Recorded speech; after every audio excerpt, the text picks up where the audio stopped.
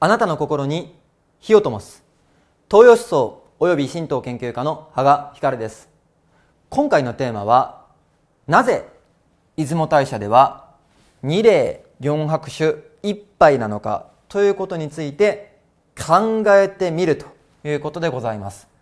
でこれは考えてみるということなのでこうっていう答えではないです。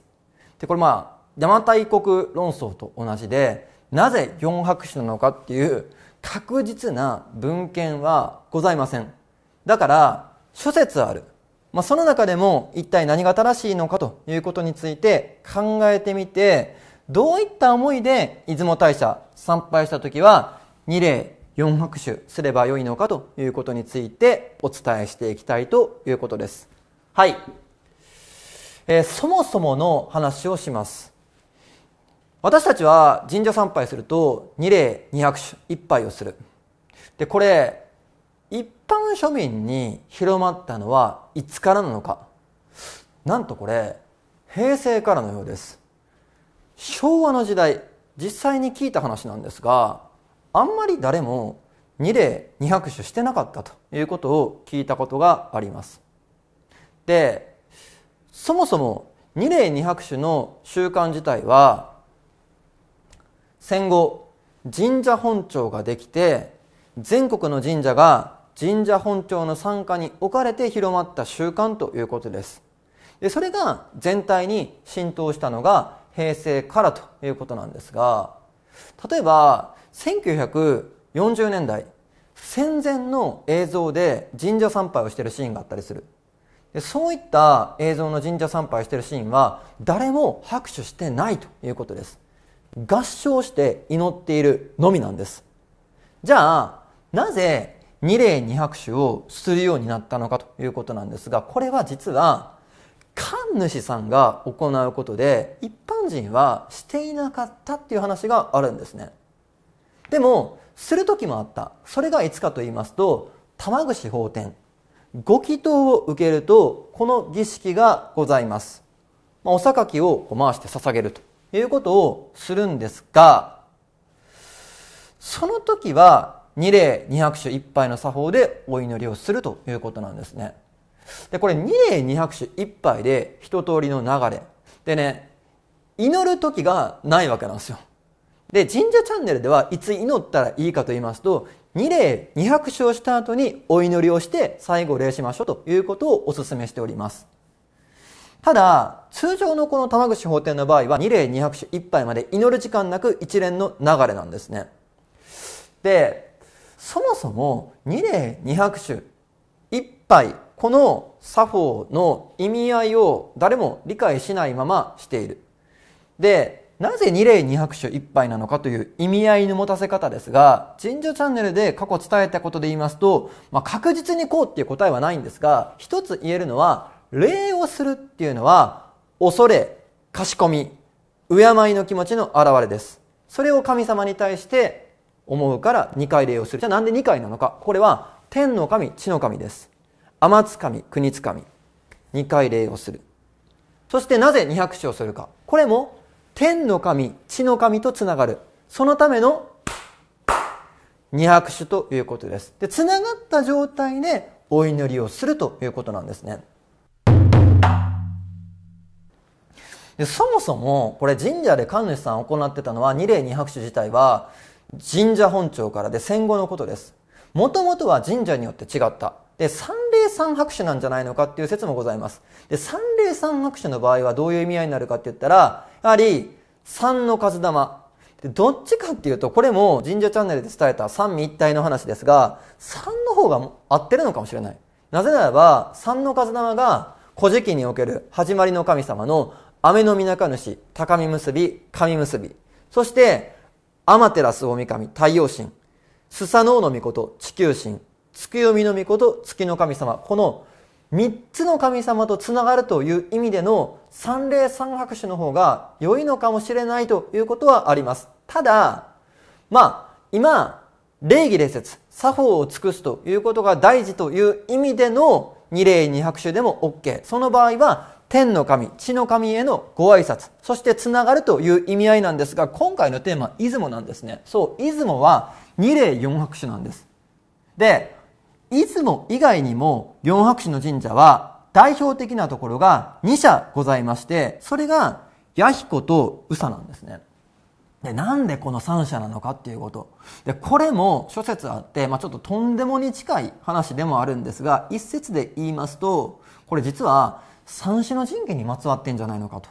で、出雲はもともと剣。弥彦は玉の原産地であった。宇佐は鏡が伝わってる。そういう場所だった。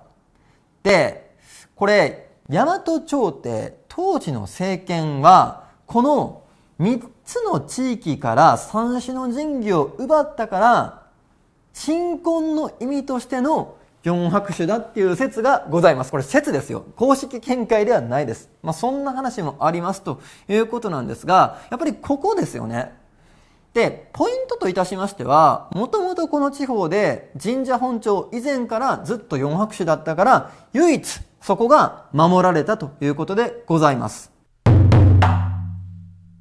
で、なぜ四拍手なのか、紹介していきますと、一つが四方説です。つまりは、四つの方位に神様がいる。まあ、風水では、詩人と言います。朱雀、白虎、玄武、清流です。でも、すべての方位の神様に挨拶する。特に、出雲の場合は、国津神です。地球の神様です。場所の神様です。なので、4つの方位に神様がいますよ。この4つの方位の神様に対するご挨拶としての、もしくは4つの方位の神とつながるという意味での、四方の神とつながる四拍手というのが一節。もう一つ、神道における考え方、思根というものがございます。人間の魂は4つの構成要素がある。これは、にぎみ玉、さちみ玉、くしみ玉、あらみ玉です。まあ、ざっくりポイント言いますと、にぎみ玉は人とつながる和合を有効していく魂。くしみ玉は頭の良さや直感力。さちみ玉は人の幸せを願う。あらみ玉はメンタルの強さ、根性でございます。この4つの魂が目覚める。で、これは別に人間だけじゃなくて神様にも思考がある。つまりは、大送り主の御事の死婚とつながるという意味での四拍手という説。もう一説なぜ四拍手なのか。これ、大送り主、様々な異名があるんですが、ある異名では、隔離用の狼、つまりは死者の世界を治める神と言われております。有名会、冥界の名は冥王星の名というふうに書く場合もあるんですが、これ、名ですね。で、隔離用の狼という話があったりするんですが、そういった黄泉の国を治める神だから、黄泉の国の陽から取って四拍手っていうのも一説です。まあこれちょっと強引なんですけどね。やっぱり4回拍手するっていうのは4つ何かの神なる働きを称えるものであり、つながるものです。だから、ちょっとここに関しては強引だという説もあったりするんですが、ということです。ただ、今回、まあ、出雲っていうことなんで、一つポイントは、やはり、もともと出雲系民族という人たちがいた。その人たちの間で、聖なる数として信じられてきたのが、4や8だったということでございます。で、特に8にまつわるものは多いんですね、出雲系。例えば、向こう行きますと、八重垣神社。日本最古の和歌と呼ばれております、スサノオの呼んだ和歌も、出雲八重垣、ね、8という数字が出てきます。もしくは、大国主の御事、ナンバー2の神と言ってもいいでしょう。八重琴城主、8という数字がついてます。で、これやっぱり、出雲族にとって、8っていう数字は特別な数字であった。で、8と親和性高いのはやっぱ4なんですよね。で、出雲のお祭り、今でも特別な儀式の時は、八拍手、もしくは8回礼が行われるという話もあったりします。で、8の簡略化としての4ではないのかということもあるということでございます。はい。今回は考えてみるということなので、これが正解というよりかは、諸説あるものをご紹介させていただきました。まあ、ポイントといたしましては、大栗主の御事です。出雲大社に参拝するときは。この大国主の御事の4つの働きとつながる。4つの神なる部分とつながる。まあ、そういう意識を持って4拍手していただくと良いのかと思います。はい。やっぱりね、これ、出雲とか弥彦とか宇佐、こういったところで4拍手が伝わるっていうことは、意味があることで、そういったしきたりを守ることによって、よりつながりやすい。これは間違いないことだと思います。そして、宇佐八幡宮、ここも非常に深いですね。この秘密については、北極流ユニワ塾としてもこの10月の参拝セミナーのテーマとなってきます。はい。ということで、普段の神社参拝の時は二礼二拍手で行きましょう。この時は天の神、地の神に対するご挨拶、つながる意味です。しかしこういった特別な神社もあるというお話でした。この動画をご覧になったあなたの開運をお祈りしております。羽賀光でした。